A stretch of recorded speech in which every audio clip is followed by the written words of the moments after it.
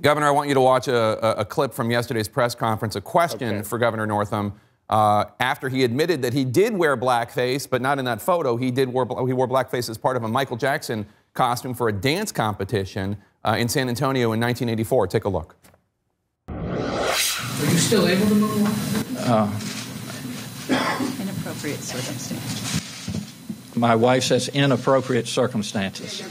So, as I don't need to tell you, Governor, there are a lot of people in Virginia and throughout the country who are really hurting because of this racist image. You just saw Governor Northam smiling, contemplating, showing the press his ability to moonwalk.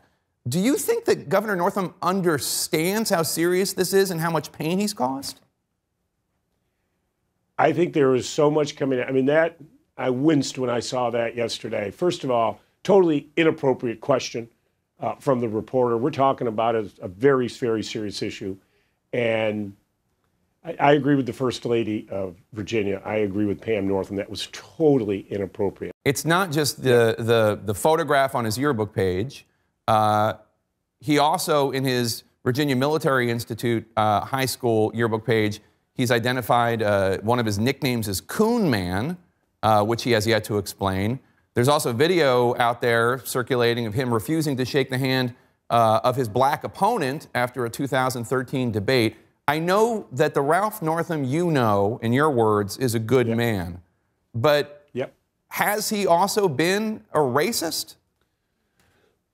I have zero indication of that. As I say, family doctor, had military service, had been a state senator, ran for lieutenant governor, and literally at my side. I mean, we lean historic investment in K 12 to make sure that, you know, underserved schools had the right teachers. And as I say, to make sure every child had a nutritious breakfast, working with my wife Dorothy on that. I mean, mm-hmm. when I did the restoration of rights and was sued by the Republicans to stop me from doing it, Ralph was always at my side. So I can't answer it, Jake. I'm telling you, I'm heartbroken. Mm-hmm. I, I don't know how. I mean, I have been, it is on Friday. I, I just don't. I can't explain to you my feeling, but you know, it doesn't matter how Terry McAuliffe feels. That photo that was in that yearbook was so offensive to the African American community that I can't be in their shoes, and we've just got to get past this.